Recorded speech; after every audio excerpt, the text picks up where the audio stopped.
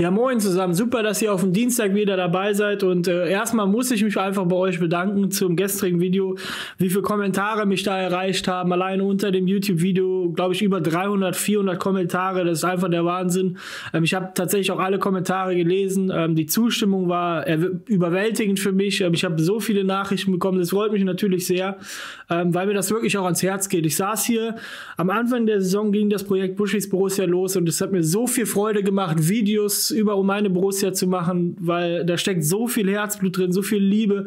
Und jetzt setze ich mich hier ab und zu mal hin und ähm, ja, und ich bin einfach nur frustriert und es fällt mir extrem schwer und ich finde es schade. Und was auch schade ist, ist einfach, dass die Saison für Borussia Mönchengladbach-Fans am 26. Spieltag schon komplett gelaufen ist.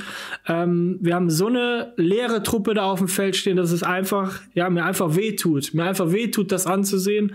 Und ähm, heute gehen wir mal in die Analyse. Ähm, das wird bestimmt spannend. Ich glaube, da kann man auch anderer Meinung sein als ich, definitiv. Ich freue mich trotzdem wieder auf eure Kommentare. Lasst wie immer gerne ein Abo und einen Daumen da. Damit unterstützt ihr mich am meisten. Und äh, ja, ich würde sagen, wir starten rein. Fangen wir einfach mit den Zielen an. Mit den Zielen, die vor der Saison gegeben wurden. Ich habe das schon oft gesagt, die waren schon sehr, sehr niedrig gesetzt und gefühlt wurden sie immer niedriger. Ähm, Fans, Mannschaft und Verein, Verein. Ich glaube, die Fans waren noch nie so weit weg von der Mannschaft wie jetzt. Ähm, da in, ich kann mich damit kaum mit identifizieren. Ich war immer, wenn ich in der Kreisliga gespielt habe, war ich trotzdem, hatte ich immer Schaum vom Mund, bevor ich in jedes Spiel reingegangen bin. Das hat die Mannschaft in keinem Spiel mehr. Ähm, das ist einfach Alibi-Fußball, habe ich es genannt und ich bleibe auch dabei. Ähm, das ist einfach eine lustlose Truppe. Das hat nichts, hat, hat überhaupt nicht geklappt. Was auch überhaupt nicht geklappt hat, wir gucken mal auf die Tabelle vom letzten Jahr. Das ist sie. Ähm, da waren wir auch auf Platz 10, wo wir jetzt stehen, haben 61 Gegentore gefangen und 45 Punkte. Ähm, die 61 Gegentore, das ist die Tabelle jetzt von diesem Jahr, werden wir wahrscheinlich auch noch bekommen. Wir stehen jetzt bei 44. Also haben wir die Defensive, die Defensive haben wir auf gar keinen Fall stabilisiert. Zudem wollten wir den Negativtrend brechen. Letztes Jahr waren wir einen Punkt vor Platz 8, also ein Punkt Abstand. Jetzt sind schon acht Punkte und der Trend ist not your friend aktuell. Also glaube ich, dass wir das Ziel, diesen Negativtrend auch nicht brechen werden. Ziel auch verfehlt. Also Fans, Mannschaft und Verein, Verein verfehlt. Defensive stabilisieren verfehlt. Ähm, Du hast eine extrem lustlose Truppe auf dem Platz, sowas habe ich noch nie gesehen. Und du wolltest am Ende der Saison eine Runde spielen, wo du sagen kannst, die Mannschaft hat alles, ge alles gegeben, Ziel verfehlt. Du hast zwar Vertragsverlängerungen mit Hofmann und Player hinbekommen, aber so wie die aktuell spielen, haben die gar keinen Bock mehr. Und du hast das gleiche Problem wie jetzt auch mit Wolf, Neuhaus, Elvedi, Leiner, die 224 auslaufen und da ist noch gar kein Ziel in Sicht. Also finde ich auch, dass da einiges schiefgelaufen ist und faktisch muss man auch sagen, die Transferphase wurde auch fast in den Sand gesetzt. Im Winter wurde nichts gemacht und im Sommer hast du in Gumu Fraulo geholt, wo man einfach sagen muss, bis jetzt, die beiden haben 10 Millionen Ablöse gekostet und haben nichts eingebracht. Null Tore, null Vorlagen. Weigel unglücklich hat sich verletzt. Eine Kaufoption, die du in der Höhe nicht ziehen kannst. Und Itakura, Bombenstart in die Saison gehabt und läuft jetzt seiner Form auch komplett hinterher. Muss man sagen, dass das auch nicht optimal gelaufen ist. Und im Endeffekt ist das Fazit, man hat alles, man hat einfach alles verfehlt. Und im normalen Unternehmen wird man sich jetzt hinsetzen und sagen, okay, wir haben alle Ziele verfehlt, was machen wir jetzt? Du hast zwei Optionen. Entweder du sagst jetzt, Eberl ist alles schuld und es läuft einfach so weiter. Und ähm, was für mich auch, also ich habe den Jungs wirklich das Vertrauen geschenkt. Wirkus, ich habe geglaubt, dass er das packt. Aber im Nachgang muss man natürlich auch sagen, du, du ersetzt den Eberl durch einen Roland Wirkus, der jahrelang in der Jugendarbeit ähm, gearbeitet hat und gehst davon aus, dass er es kann, obwohl Eber schon komplett mit der Aufgabe am Ende einfach fertig war. Da fehlt einfach Unterstützung, glaube ich, auch für den Roland Wirkus. Ich glaube, er braucht einfach auch Unterstützung mittlerweile. Das habe ich am Anfang anders gesehen, aber es geht nicht mehr anders. Oder du hast die eine, eine Option, du sagst, egal, das, wir lassen das so weiterlaufen, dann gehen wir sehenden Auges, glaube ich, in ganz, ganz schwierige Zeiten rein. Oder du sagst, okay, es ist wirklich alles schief gelaufen und wir müssen was ändern. Ne? Und äh, ja, und was halt gar nicht geht, ist aus meiner Sicht, man kann mich als Mann von der Currywurstbude dahinstellen. Ich liebe Currywurst, Currywurst Pommes ist was ganz Feines, damit habe ich auch gar kein Problem.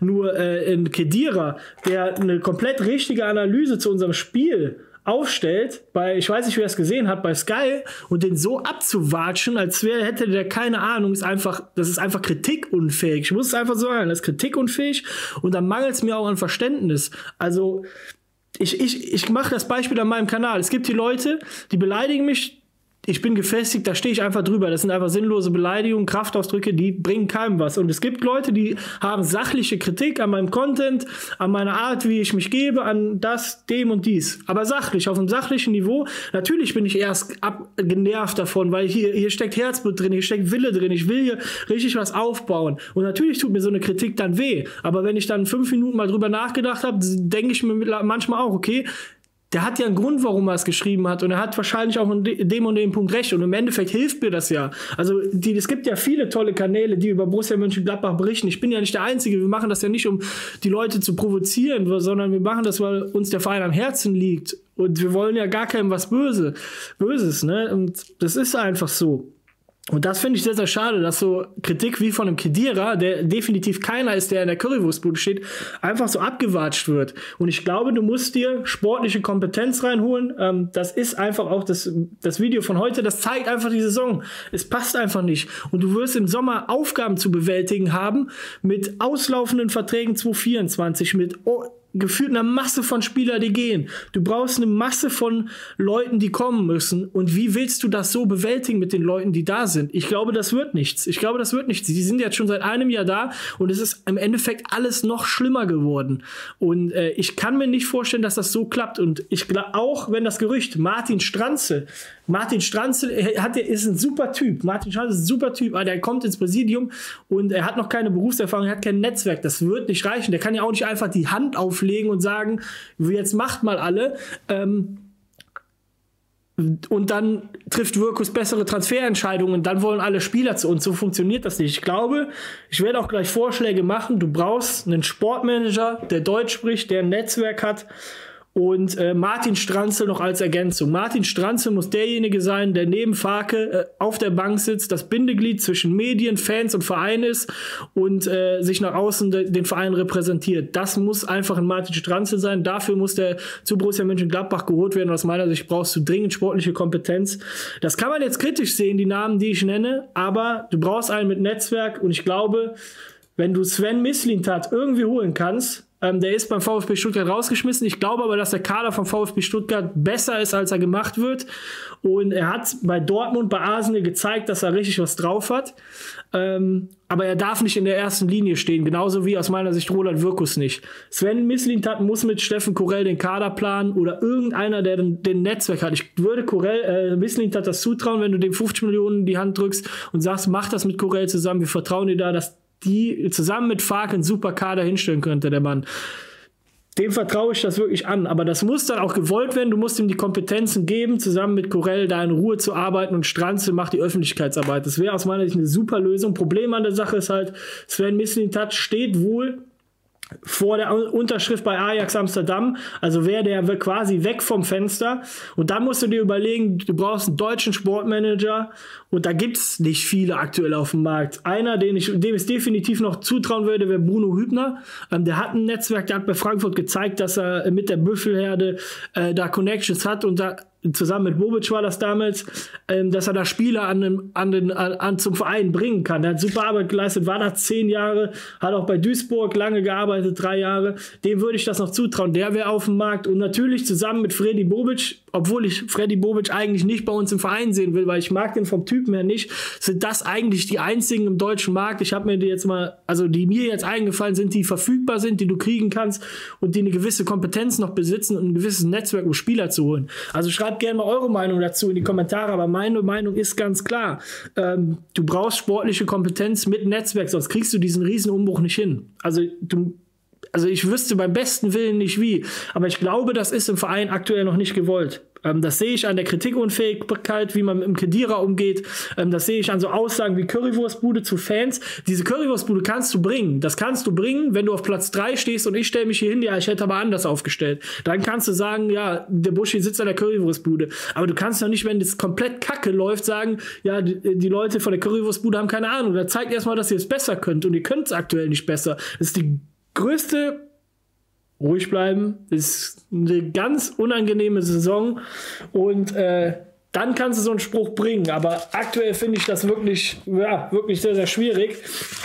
Und äh, Wirkus ähm, müsste sich dann wieder um die Jugendarbeit kümmern. Ich meine, er hat da Kritik dran geäußert, er hat es jahrelang gemacht und äh, fällt, jetzt fällt ihm auf, dass es halt aktuell nicht läuft. Da muss er wieder dahin und es besser machen. Ne? Und das sind halt so Sachen, die funktionieren nicht. Und ja, jetzt kommen wir noch zu Gerüchten.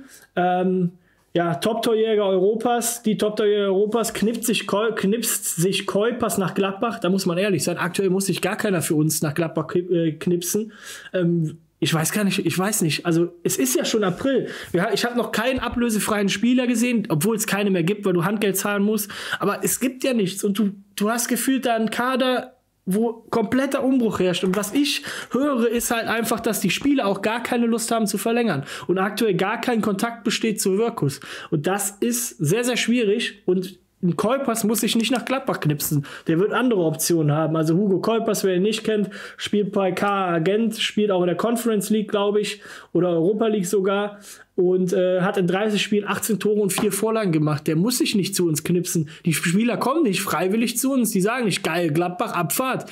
Ich bin sofort dabei. Die musst du überzeugen. Und ich glaube, dafür brauchst du jemanden mit Kompetenz. Das ist meine Meinung.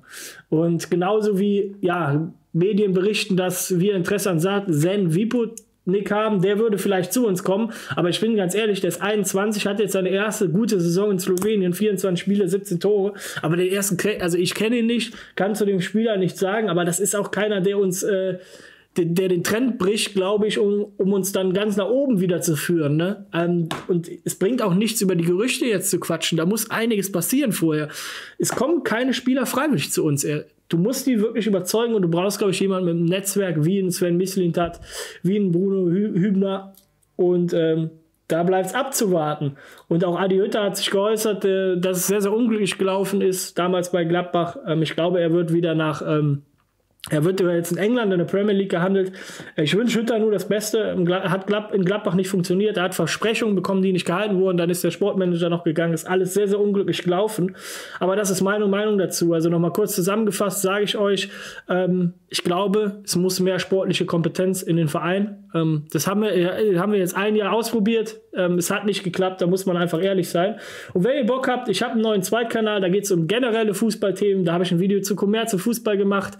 Äh, Elastico TV heißt der. Da äh, kommt heute Abend ein Trans Transfer-Update über ablösefreie Spieler. Habe ich mich ein bisschen mit beschäftigt. Würde mich freuen, wenn ihr vorbeiguckt. Auch da ein Abo und Daumen da lasst, genauso wie hier. Und äh, jetzt wünsche ich euch aber erstmal noch einen schönen Dienstagabend. Ähm, kurze Woche diese Woche. Und äh, morgen gibt es, glaube ich, morgen wird es wahrscheinlich den Livestream geben. Und jetzt macht's gut. Ciao.